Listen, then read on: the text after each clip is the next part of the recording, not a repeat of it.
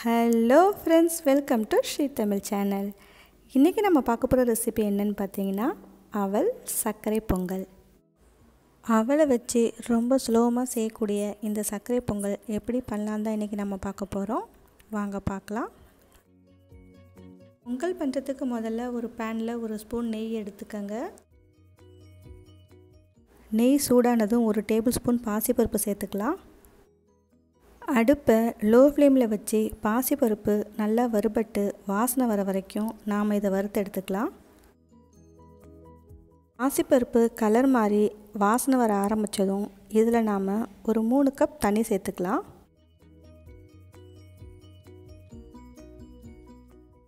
அடுப்பை மீடியம் ஃப்ளேமில் வச்சு பாசிப்பருப்பு நல்லா சாஃப்டாக வெந்து வர வரைக்கும் நாம் இதை வேக வச்சு எடுத்துக்கலாம். அடுத்து இன்னொரு பேனில் ரெண்டு டேபிள் ஸ்பூன் நெய் சேர்த்துக்கங்க. நெய் லேசாக சூடானதும் கொஞ்சமாக முந்திரி பருப்பு சேர்த்துக்கலாம். முந்திரி பருப்பு லேசாக வறுபட்டு நிறமாற ஆரம்பித்ததும் இப்போ நம்ம இதை எடுத்துடலாம். கொஞ்சமாக காஞ்ச திராட்சை சேர்த்து அதையும் நம்ம வறுத்து எடுத்துக்கலாம்.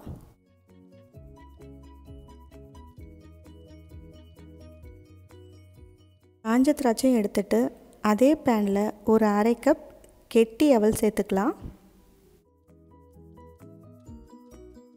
அவல் சேர்த்ததும் அடுப்பை மீடியம் ஃப்ளேமில் வச்சு அவல் நல்லா வறுபட்டு கலர் மாறுற வரைக்கும் நாம் இதை வறுத்தெடுத்துக்கலாம் கொஞ்ச நேரத்தில் பார்த்தீங்கன்னா அவல் நல்லா கலர் மாதிரி வந்திருக்கு. அதே மாதிரி அவல் நல்லா புரிஞ்சும் வந்திருக்கு. இந்த அளவுக்கு நாம் வறுக்கணும்.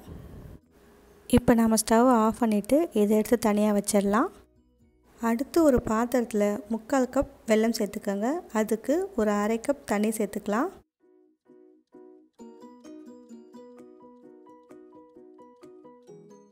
அடுப்பை மீடியம் ஃப்ளேமில் வச்சு வெல்லம் நல்லா கரையிற வரைக்கும் இதை நாம் கலந்து விட்டுக்கலாம்.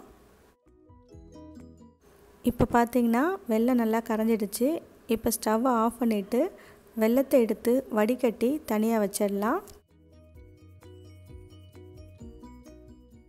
இப்போ பார்த்திங்கன்னா நமக்கு பாசிப்பருப்பு நல்லா வெந்துடுச்சு. தண்ணியும் பாதி அளவுக்கு குறைஞ்சிடுச்சு. இந்த சமயத்தில் நாம் வறுத்து வச்ச அவலை இதில் சேர்த்துக்கலாம். அவல் சேர்த்ததுக்கப்புறம் அடுப்பை லோ ஃப்ளேமில் வச்சு அவல் நல்லா சாஃப்டாக வெந்து வர வரைக்கும் நாம் இதை வேக வச்சு எடுத்துக்கலாம். ஒருவேளை அவல் வேகிறதுக்கு தண்ணி பத்தலைன்னா இந்த சமயத்தில் சுடு தண்ணி தேவையான அளவு நாம் சேர்த்துக்கலாம். இப்போ பார்த்திங்கன்னா நமக்கு அவல் நல்லா சாஃப்டாக வெந்து வந்திருக்கு. நமக்கு தண்ணி எதுவும் தேவைப்படலை. அவலை பொறுத்து தண்ணியோட அளவு மாறுபடும்.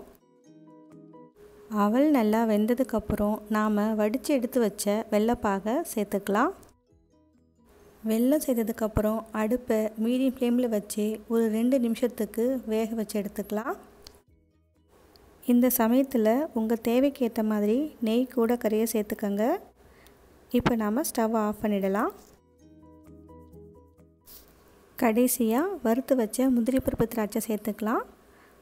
அப்புறமா கொஞ்சமாக ஜாதிக்காய் பொடி ஏலக்காய் பொடி சேர்த்துக்கலாம் வாசனைக்காக. ரெண்டு டேபிள் ஸ்பூன் நெய் சேர்த்து கலந்து விட்டோம்னா சுட சுட நமக்கு அவல் சர்க்கரை பொங்கல் தயாராகிடுச்சு இதை நீங்கள் வீட்டில் ட்ரை பண்ணி பார்த்துட்டு எப்படி இருக்குன்னு சொல்லுங்கள். இந்த ரெசிபி உங்களுக்கு பிடிச்சிருந்தா லைக் பண்ணுங்கள் ஷேர் பண்ணுங்கள். ஸ்ரீ தமிழ் சேனலுக்கு சப்ஸ்கிரைப் பண்ணுங்கள். தேங்க்ஸ் ஃபார் வாட்சிங்